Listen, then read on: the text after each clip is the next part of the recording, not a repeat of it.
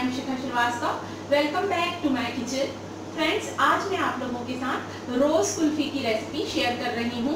रोज़ कुल्फ़ी बनाने के लिए हमें क्या क्या चाहिए? चलिए देखते हैं। इसके लिए लिया है मैंने हाफ़ लीटर मिल्क मिल्क हमारा फुल फैट मिल्क होना चाहिए। मलाई वाला दूध होना चाहिए। इसके अलावा मैं इसमें शक्कर ले रही हूँ। आप देख रहे होंगे, पौन कटोरी मैंने शक्कर लिया है।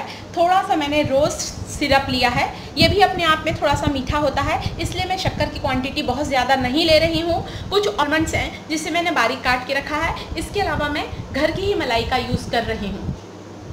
सबसे पहले हम दूध गर्म होने रखते हैं।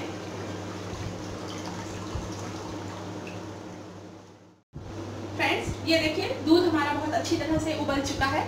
अब इसमें मैं पौन कटोरी शक्कर यूज़ कर रही हूँ, क्योंकि हम शुगर सिरप डालेंगे, इसलिए मैं रोज़ सॉरी रोज़ सिरप डालेंगे, इसलिए शक्कर हम कम डालेंगे क्योंकि रोज़ सिरप भी मीठा होता है। एक कटोरी शक्कर मैंने इसमें डाली है। अब इसे हम पाँच दस मिनट तक के अच्छी तरह से पकाएँगे। आँच हम थोड़ी सी धीमी करेंगे फ्लेम थोड़ा सा लो कर दें। ये देखिए फ्रेंड्स दूध हमारा उबलते हुए 10-15 मिनट हो चुके हैं। अब इस उबलते हुए दूध में, जो कि बहुत अच्छी तरह से औट चुका है, इसमें मैं घर की ही मलाई डाल रही हूँ। एक कटोरी मैं घर की मलाई का यूज़ कर रही हूँ।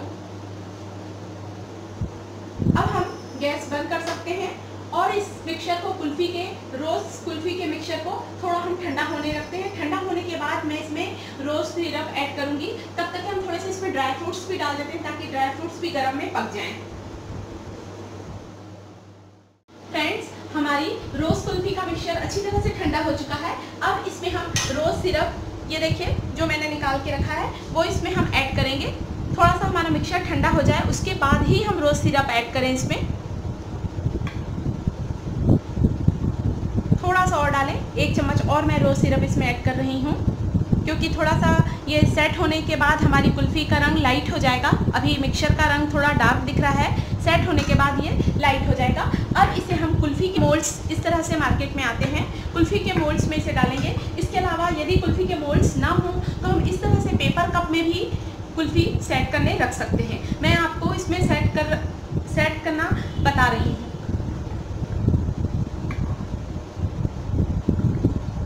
ये देखिए फ्रेंड्स इसे हम इतना इतना भरते जाएँगे और इसे हम सात आठ घंटे के लिए सेट होने रखेंगे।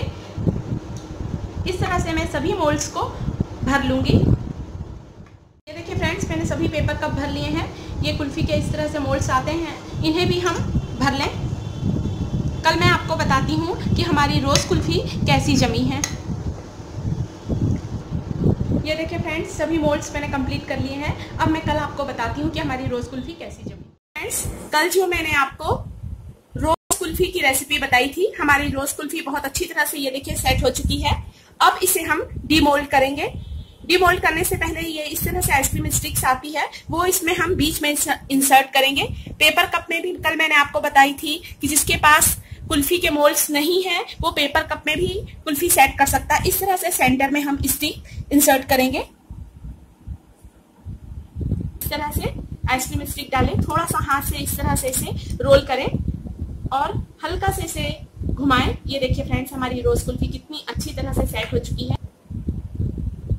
सभी सांचे को डीमोल्ड करूँगी। पेपर में इस तरह से ऐसे हल्का सा कट लगा लें और फिर हम पेपर भी इस तरह से अलग कर सकते हैं। हमारी कुल्फी बहुत ये देखिए, बहुत ही आसानी से हमारी कुल्फी डीमोल्ड हो जाएगी। कुल्फी डीमोल्ड करेंगे। इस तरह से हम आइसक्रीम स्टिक अंदर इंसर्ट करेंगे। हल्के से, थोड़े से पिछले से हम इसे गार्निश करेंगे।